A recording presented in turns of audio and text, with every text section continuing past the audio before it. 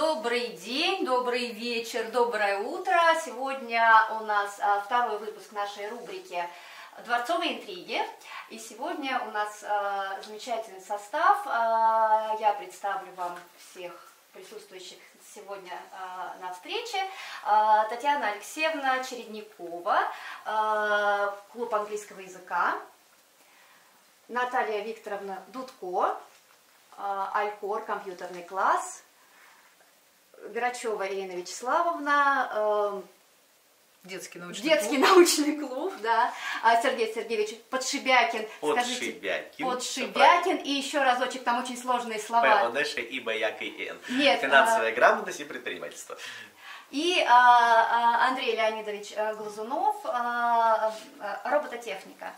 И а, ведут рубрику Ведет она, Татьяна Владимировна Степанова, а я, Сергей Александрович Лазуткин, молчу сегодня, потому И что в прошлом выпуске я много говорил. Сегодня у нас представлено техническое направление нашего дворца, а, причем а, как-то его так все время называют, что техническо-научное, но если разобраться по каждому а, из вас, по, по направлению, которое вы представляете, его как-то нельзя назвать а, таким вот прям именно Одним научным. словом Одним назвать, словом, да. да. Вот, как вы, а, как вы думаете, почему вот вы собрались именно вот таким составом, как бы вы сформулировали, почему ваш отдел получился вот вот таким. Как вы так все вместе собрались, как вы вместе живете и как вы объ- объединяетесь? Да, я вот тоже как раз сижу и думаю, что мы не танцы, совершенно точно, мы не бассейн, не музыка.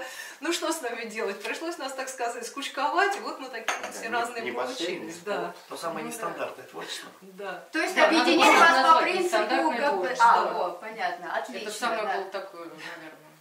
По принципу непохожести на массовую, так сказать. Я вот всегда думаю, английский язык присоединили к робототехнике, к компьютеру. А вы бы куда хотели присоединиться? Потому что дети, между прочим, компьютерные игры все без английского-то язык никак. Ну И да. когда они приходят и спрашивают, а вот это как, а вот это что? Я говорю, а вот, вот сейчас будем учить, все будешь знать. И им говорю, вот новые игры, например, ждать, пока их официально переведут, или ты уже будешь э, впереди планеты всей, уже, допустим, в этих играх э, разбираться, а другие еще пока ждут официального перевода. То есть это их очень стимулирует. Поэтому я думаю, вот э, английский язык Да, это вот, их стимулирует, да, да, это вот и точно. присоединили к такому. Притом, если учесть, что, извините, что я Да. вас, если учесть, что киберспорт э, хотят вести в школе, именно как спортивную, это сделать специально отдельным предметом, где будут обучать детей. А все, ну как сказать, эти направления, да, в этом киберспорте, они же ведь все эти программы на английском языке. Поэтому здесь вынужденно будешь учить английский. Подтверждает, что учеба должна это идти от необходимости. Вот Да. когда ребенку что-то надо, Да. он Да, он будет это начинает учить прекрасно. учить. Да, Да, все да. усваивается как бы само собой. Если Да. ему это не надо, и он не понимает, зачем там и так Да. далее. то- говорить детям, что тебе это пригодится в будущем. Вот когда вы будете взрослые, вы вспомните, что вот у вас сейчас была возможность, а потом не будет ни времени, ни того, ни все. Это ноль. Это ни о чем. Они еще об этом не задумываются. А вот если новая компьютерная игра, то Да, вот тогда это их да, интересует. тогда да. А вот это что, вот это как? Вот это очень интересно, поэтому вот такой. Поэтому я думаю, нас потому и присоединили вот к Ну, таким вот наверное, да. техническим направлениям, чтобы мы Я, как-то... я сейчас Да. хочу чуть-чуть, Да. потому что я так с программированием очень дружен был, и мне это было всегда интересно. Да, и в какое-то время мне папа привез компьютер из Японии, 85 год. Тогда у нас так ничего не было. Но книжки все были на японском. Я выучил язык Basic по учебнику на японском языке. Программирование по-английски, сами, сами да, слова, да, да, да. а все описание по-японски. И ничего, удалось. Уже, да, уже по, уже по нескольким фразам понятно, что сегодня у нас собрались крайне неординарные личности. И хочется с этими личностями а, узнать, как же, собственно говоря, как вы а, оказались здесь. Я думаю, что у всех у вас интересная история прихода сюда. Ну, у меня это нестандартная наверное, история прихода. Значит, я с 88 года занимался спортивным ориентированием, потом начал преподавать вместе с Надеждой Николаевной Рощиной, вот как раз в отделе туризма краеведения. А потом, ну и как всегда, я же мальчик, я люблю конструктора, люблю программирование, люблю роботов. А потом поступило предложение от нашей дирекции, что вот, есть место преподавателя по робототехнике, и мне так стало интересно. И так стало прям, я окончил курсы какие-то летом, там переподготовки, и, в общем, уже 4 года практически ну, веду. То есть я попал сюда из дворца, как бы, в это отдел. А как вы попали во дворец? А в дворец я попал, потому что я занимался спортивным ориентированием у педагога дворца Надежды А, Николаевны Рощиной. как бы Ну, э, вот вы ребенком пришли. Да, ребенком я занимался, потом стал педагогом по ориентированию, там больше 20 лет. И, и в какой-то момент еще параллельно стал педагогом робототехники. Вот. А вот такой вот вопрос не совсем про образование, а вообще в, в робототехнике, Техника. ну, в роботопромышленности у нас ожидается ли скачок какой-то еще больший? Как у специалистов. Еще Мне больше? Интересно. Еще больше. Что? Ну я не разбираюсь в этом вообще. У меня даже робота-пылесоса нет. за мной наблюдают. У нас Нет, но я еще на самом деле параллельно я же работаю в Институте космических исследований инженером. А, Спутники научные там, эксперименты проводим. А, И думаю, есть коллективы талантливые при вузах, при там старшие школьники, вот у них должно пойти. Ну, А в мире какая ситуация? Я вот мне, э, мне интересно, меня заменят или Меня нет? просто волнует, да. А, Пока я, да, поработят с роботы. Вот ты о чем думаешь. Через два года там вместо меня будет преподавать робот какой-нибудь детям, таким же роботом. Ну, может быть. Я в детстве очень любила читать научную фантастику. Да, я тоже. читала, да. Как же электроник, мальчик из Нет. А тут я скажу цитату, которая мне очень понравилась. Искусственного интеллекта создать невозможно. Ура. По той причине, что до сих пор никто не знает, как человек думает. Как вот в этом мозгу умещается все эти связи, вся эта информация, где это хранится. Без этого можно создать только подобие поведения, человеческого поведения, но это не искусственный интеллект. Искусственный интеллект, он как бы вот, Необъятен. и до сих пор даже непонятен. Поэтому создать, вот слово модный искусственный интеллект, это все просто красивое название чего-то, что имитирует поведение. Сергей Сергеевич, с вами мы недавно знакомы. Ну да, И- я такой да, новенький. И, и вы новенький, да, и у нас никогда не было ничего связанного с финансами, с предпринимательством. Ну, когда-то не было и робототехники. Да. Ну, финансы Да. предпринимательства были всегда, видимо, кружка не было. Кружка не было. Благодаря, тому, У что... всех разные финансы, но какие-то были, да. Это точно. Ну, благодаря как раз таки тому, что он появился как идея со стороны руководства, поскольку был запрос, и он был всегда, просто в какой-то момент это сформулировалось, видимо, уже на уровне, так сказать, нашего А, то есть не вы руководства предложили города. предложил я. Меня, скажем так, вовремя нашли, я очень-очень к месту оказался. А, Если так чуть-чуть о себе, я же, собственно говоря, по первому основному образованию педагог, причем педагог истории обществознания. Так получилось, что в образовательных учреждениях я работал не очень долго, потому что меня в основном туда, скажем так, приглашали, как человека, который может, ну, скажем так, заткнуть в хорошем смысле дырку, которую почему-то никто до меня не смог заткнуть. Вот. А в остальном я очень долгое время занимался разработкой настольных игр, собственно говоря, продвижением настольных игр и проведением настольных игр для детей. В формате такой, ну, получастной практики. И, соответственно, в какой-то момент ко мне попал, так сказать, в поле моего общения замечательный человек Виктор Михайлович и сказал, что, вы знаете, вот есть замечательный дворец творчества Преображенский. Я, ну да, где-то слышал, у меня там бабушка недалеко живет. Слушайте, а там есть замечательный кружок финансовый грамоты. Вот они как раз ищут педагога. А у вас же есть педагогическое образование? Есть. Ну, приезжайте, познакомьтесь. Я, собственно говоря, приехал во дворец, пообщался с Еленой Борисовной и понял, что, видимо, я попал туда, куда надо. Потому что впервые за очень долгое время я почувствовал, что я пришел в место, где а, искреннее желание делать хорошо и для работников, и для тех, кто приходит во дворец. И чтобы каждый пришедший сюда действительно чувствовал себя каким-то своим. И, собственно, с этого момента я чувствую себя частью этого замечательного коллектива. И, собственно говоря, финансовая грамотность и предпринимательство – это такой забавный предмет, который очень сложно померить. Вот. И каждый раз, когда приходят дети, собственно говоря, на первое занятие, я всегда совершаю такой немножко, ну, может быть, парадоксальный, собственно говоря, шаг. Я всегда спрашиваю, кто пришел ко мне, потому что сам заинтересовался, кого привели родители. И всегда есть несколько рук, которые, спрашивают, которые понимают, ну вот мама сказала, там, папа сказал, я говорю, ребят, вот вы сегодня на занятии остаетесь, вы же уже пришли, я просто выгонять здесь не буду. Но если вы не хотите посещать следующее занятие, значит, наверное, вам это не надо. Потому что вы свое время, которое можете инвестировать куда-то в более полезные дела, инвестируете туда, куда вы не хотите. Зачем мы с вами будем начинать ваш путь предпринимателя с того, чего вам не нравится? Обычно после этого занятия приходят добровольно уже все. Ну, потому что у детей появляется интерес, либо если кто-то искренне говорит, что, ну, вы знаете, я понял, не мое, не хочу пока. Обычно на одно занятие пропускают, а вы знаете, все-таки было интересно, я хочу вам ходить дальше. Поэтому такой вот интерес, опять же, некого понимания того, что ты приходишь туда, куда ты хочешь. И мне кажется, в этом плане Дворец творчества это такое вот крайне необычное место. Я много где поработал, много с каким коллективом общался, много чего видел именно в образовательных учреждениях, но это, пожалуй, единственное место из того, что видел я, куда хочется приходить и хочется приводить людей, потому что здесь хорошо.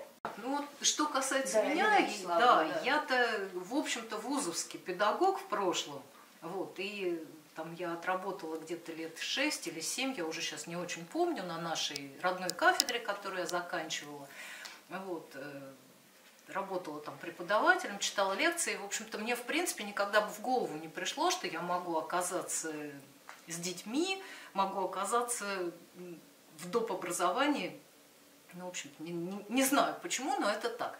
Вот. А потом, когда появились дети, то как-то у меня э, такая мысль была, что ну, я вот должна с ними заниматься так, плотно очень. Вот. И мы с ними, в принципе, посещали очень большое количество кружков, э, так, ну, в частности, конечно, здесь у нас, в дворце. Вот. И однажды я посмотрела, идет ребенок и несет песочные часы. А песочные часы, так объясняю, которые делались здесь, вот, во дворце, в детском научном клубе, представляли собой такое грандиозное сооружение из двух Пластиковых. пластиковых бутылок, да, из, там, из компакт-дисков. В общем, невозможно было не увидеть, и вот э, идет такой ребенок, а что это? Вот. А мы ходили в это время здесь на фортепиано с детьми.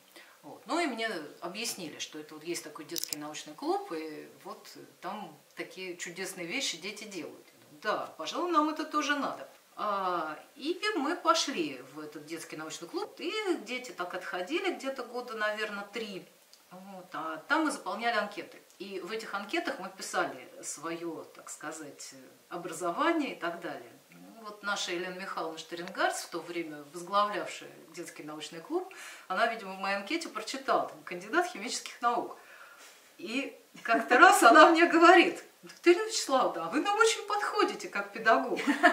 Ну, Ирина Вячеславовна так как-то пожала плечами, потому что она вся была в семье, в детях, в общем, ей было не до этого. Ну, я знаю, что я вам подхожу. Ну, ну, ну а что, собственно говоря. Вот. Ну и потом прошел еще где-то год, и тут я понимаю, что, в принципе, меня уже слишком много для моих детей, и надо как-то их от меня немножечко избавлять. Вот. И вот когда в очередной раз мне поступило предложение, я говорю, ну ладно, если это так не, ну, немного, там, не требует слишком большой занятости, то я, пожалуй, готова. Вот. Ну и меня взяли в детский научный клуб, я занималась сайтом детского научного клуба, занималась экскурсиями, в общем, так, дня два в неделю я на это где-то тратила. А, но потом, по принципу коготок увяз, все птички пропасть, выяснилось, что Елена Михайловна э, больше не будет здесь работать, что она отсюда уезжает навсегда, и она мне предложила, в общем-то, вести те занятия, которые вела она. Ну, Для меня немножко это был шок такой, вот, потому что я понимала, в общем-то, чем мне это грозит. Но я согласилась. И вот э, постепенно, да, постепенно как-то вот дошла до жизни такой, что теперь у меня 6 дней в неделю занято детским научным клубом. Ну, и иногда бывает вообще не до семьи. Да, я педагог компьютерного класса. В принципе, по специальности я математик, инженер-математик. Ну, у меня было прописано в дипломе, что мы имеем право преподавать в различных вузах, ну там кроме центральных МГУ, ИСТИХа и так далее. Вот. Ну, в принципе, преподавать можно было. Но первые 10 лет я работала на Преображенке, вот есть Нейдар, большое здание такое, да? Вот, да. Я отработала там больше 10 лет. Вообще это научно-исследовательский институт дальней радиосвязи, Да, правильно? да, Мгм. да. Вот. Ну, сделали отдельный отдел, который занимался как раз игровыми автоматами, и отдельно, который занимался медицинским оборудованием. Компьютеров тогда не было, они только начали создаваться еще как-то. Работала программистом. То есть я переквалифицировалась, сама изучила и начала программировать. Медицинские приборы мы программировали. Ну, довольно интересная вещь была. Но так как все рушилось, мне пришлось заняться, уйти в частную компанию, там отработать около, наверное, больше, нет, не больше, наверное, около 10 лет. Занималась издательской деятельностью. Там народная медицина, там вообще ну, сдвиг в другую сторону совершенно был. Работали с экстрасенсами и со всем прочим. Ну как, я конкретно не работала с ними, да, я просто обрабатывала их статьи, которые они давали, делала им журнал, выпускала их. Этот журнал. То вот, есть вы как редактор, получается, работали? Ну, как и то, и другое, и третье. Я была в одном лице. Угу. Потом уже появились, ну, другие люди, которых я начала привлекать, потому что я понимала, что я не справляюсь с тем бредом, который люди несли. Вот. По-другому сказать нельзя. Нет, были действительно талантливые люди, которые, ну, действительно помогали людям, у меня вопросов не было. Но основная масса это, конечно, бред не То есть такие все-таки есть в экстрасенсе? Есть, это сто процентов есть. Такие точно есть, это я железно могу сказать. Это, отдельно, да. это отдельная передача. Нет, нет, они есть действительно, и они, в общем я на себе же это испытала и все остальное, да. Когда даже не хочешь, да, приходит какой-нибудь там не знаю, как даже назвать их, этих людей, да, вот этот экстрасенс, и говорит, вы знаете, у вас через два дня выпадет такой-то зуб. Знаете, мне хотелось его прибить просто за это. Представляете, ну что так... И действительно, через два дня у меня выпадает зуб, там что-то проблема с зубом, я иду к зубному. Ну, здесь хотите верьте, хотите нет. И поэтому я их старалась держать очень подальше от себя, потому что иначе это была катастрофа полная. А там же организовывались и конференции, они любили организовывать все это дело. Им там нужны были эмблемы, еще что-то. Ну, в общем, я говорю, занимался создательской деятельностью. Потом появились дети. Они уже немножко стал старше подрастать и привели сюда во дворец заниматься, потому что он у нас, ну, скажем так, очень ранний ребенок, да, в 4 года он уже читал, считал, все хотел. Хотел знать. Ну, его привели сюда в студию гармонии, я сидела, ждала, когда, значит, он отзанимается. Мимо проходила Елена Борисовна. Ну, в то время она не была директором еще. А с ней мы знакомы еще со школы. Мы вместе в одну школу ходили. Ну, правда, в разные классы. Вот. И вот этот э, штаб их пионерский, который, в общем-то, основная масса людей из этого штаба, они как раз были моими одноклассниками. Вот. И она, проходя мимо, сказала, а что ты здесь сидишь? Тебе не скучно вообще сидеть? Ты не хочешь пойти поработать? Ну, я так посмотрела на нее. Думаю, ну ладно, давай попробуем. Вот. А в то время как раз возглавлял этот отдел это Фомочкин, и Александр Петрович Коринов. Ну, я говорю, ладно, давай попробуем. Ну, написала программу, начала постепенно, постепенно входить в это дело.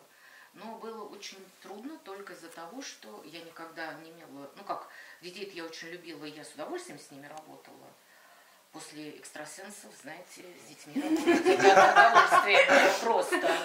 Вот, меня бросили туда как котенка. Вы знаете прекрасно, что от Александра Петровича лишнего слова не вытянешь. Он очень немногословен. Вот, они меня туда кинули, типа того, что выплывай сама как хочешь. Ну, постепенно, постепенно, ну, училась, сидела дома, училась в свободное время и пыталась создать какие-то программы, что-то. Ну, сейчас у меня уже где-то около ста человек детей, практически каждый год. Вот, то есть мое многообразие расширилось. Единственная сложность составляет в том, что информационные технологии двигаются с такой скоростью, что я, честно говоря, сама не успеваю, потому что очень много различных направлений, а я не могу охватить и то, и то, и то. У меня педагогическое образование, поэтому, в принципе, я хотела быть педагогом, но так получилось, что после института меня пригласили работать переводчиком, так что у меня есть еще одно образование как переводчик-референт. Это очень интересная работа, и организация была интересная, но когда появились мои собственные дети, они появились очень небольшой разницей, я поняла, что вот на сто процентов отдаваться работе, и при этом маленькие дети и с маленькой разницей, которые болеют по очереди, в общем-то, это уже проблематично. Я совершенно случайно наткнулась на вывеску, что вот Центр детского творчества. Я из любопытства зашла спросить, а, собственно, вот как.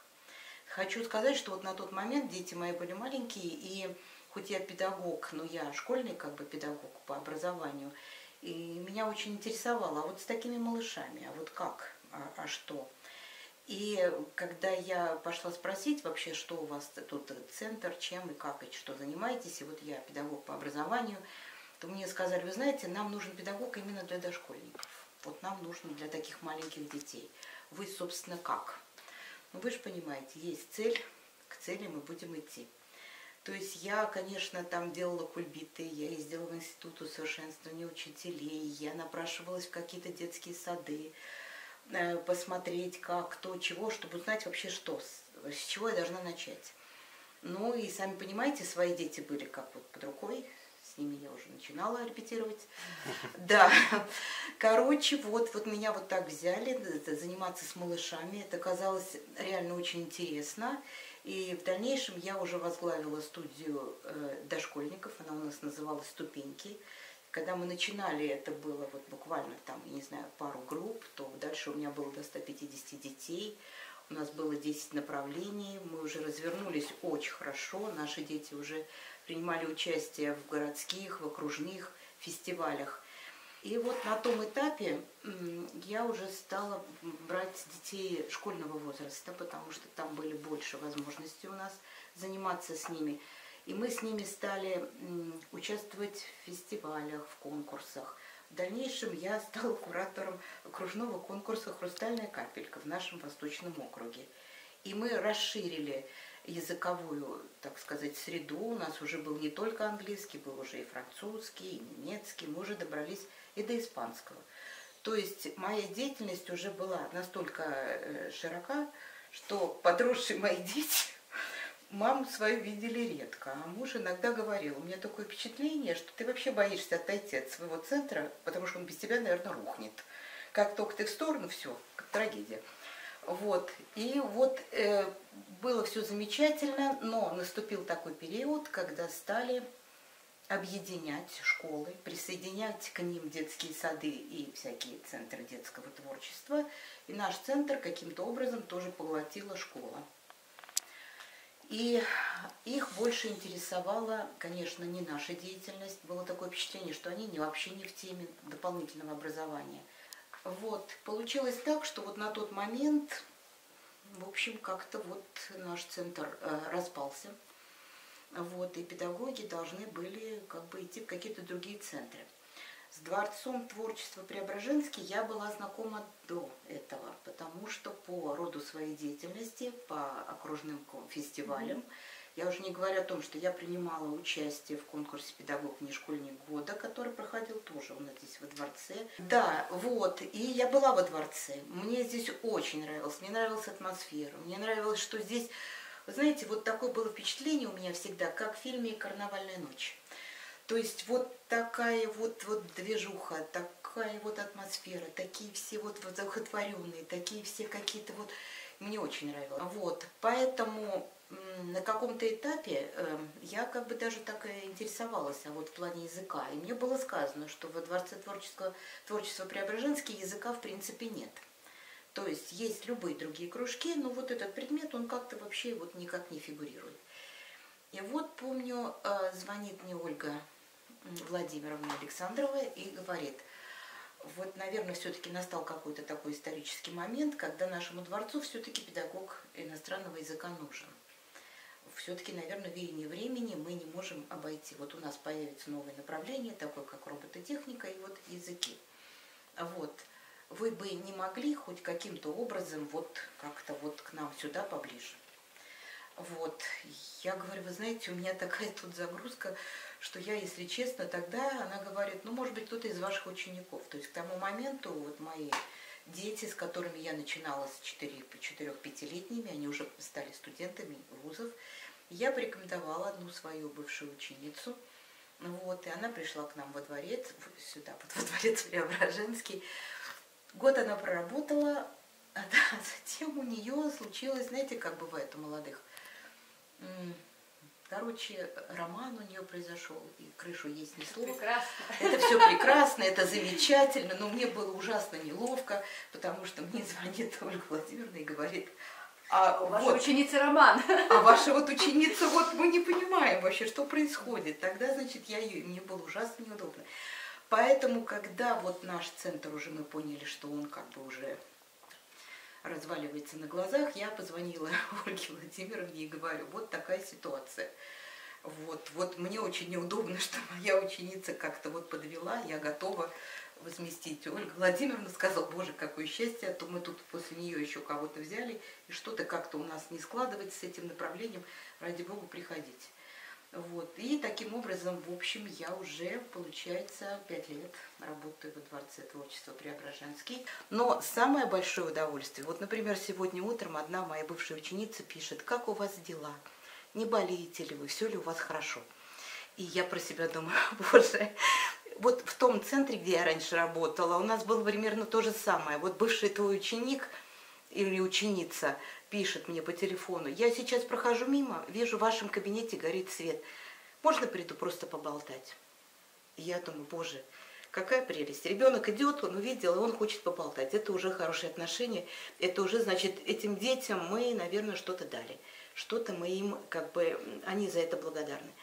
Так, Возможно, спасибо большое. На самом деле, действительно, вот Татьяна Алексеевна коснулась очень многих моментов, вот, которые сейчас я хотела бы и с вами тоже проговорить. И как так получилось, что мы сейчас говорили про, про трудности, давайте мы начнем, что же про это вспомним, чтобы потом перейти к Сейчас про приятным трудности моментам. будем Начнем с трудностей. Хорошо. Ну, если есть, конечно. Если у вас нет А никаких легкости одни, трудностей, да.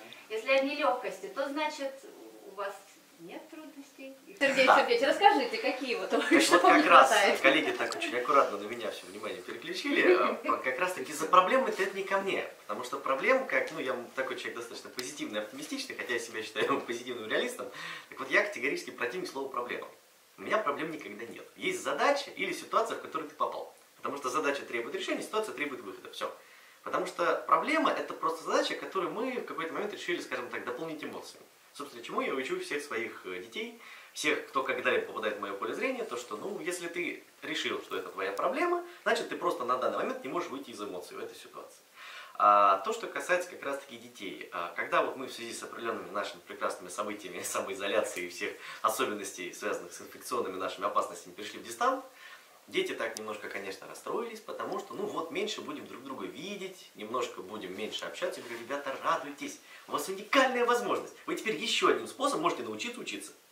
Мы же в первую очередь чему учимся на предпринимательстве? Потому что вам нужно уметь адаптироваться. Мир всегда будет меняться. Коллеги уже много раз сказали, что очень часто бывает, что мир меняется настолько быстро, что ты, как педагог, как человек, который является специалистом в какой-то области, иногда немножко не успеваешь за ним бежать. Как там в сказке это было? Для того, чтобы просто стоять на месте, нужно бежать очень-очень быстро. И вот именно этот э, навык адаптироваться, навык не полосовать перед трудностями, которые вот сейчас у тебя возникли, ты этим никогда не пользовался, никогда этого не делал. Но тебе рано или поздно придется этому научиться. И дальше либо ты отстающий, потому что тебя кто-то уже обогнал, либо ты адаптировался и идешь дальше. Двигаешься в своем направлении, понимаешь, что ты делаешь то, что тебе действительно нравится. Поэтому в первую очередь, конечно, когда вот, ну, особенности, скажем так, то есть опять же появляются новые задачи. Появилась задача того, что работаем в дистанционном режиме. Говорю, ребята, создаем еще один WhatsApp-чат, обмениваемся материалами, которые изучаем, а я вас мучаю всеми видеозаписями, которые я могу предоставить, плюс для вас в онлайне пляшу, танцую, все, что могу делать. Плюс у вас уникальная возможность теперь информацию искать не только в телефонах, а теперь вы уже сидите за персональными компьютерами. Теперь мы еще и их начнем использовать на занятиях. Теперь вам не нужно вспоминать, какие документы нам как раз нужны для регистрации предпринимательства. Мы можем это все благополучно загуглить, поискать и так далее. Но теперь у вас это еще и дополнительный навык, которым вы пользуетесь вот прямо сейчас на практике. Вот у вас практическая задачка, решаем ее. Настольные игры? Да без проблем. Любую настольную игру можно перевести онлайн. Хорошо, или, предположим, у нас есть какая-то очень сложная задачка. Мы знаем, что нам очень не хочется ее делать. Она же большая, сложная, много времени потратить, вообще лень. Говорю, хорошо, попробуйте сделать от нее какой-нибудь маленький-маленький шажок, чтобы что-то, что только начнет, собственно, движение ваше по этому пути. Это называется способ слона. Мы его делим на маленькие-маленькие-маленькие половинки, и каждый раз, когда мы по кусочку съедаем, слон, как бы уже пропадает. То есть задача не становится такой страшной в тот момент, когда ты начинаешь ее решать.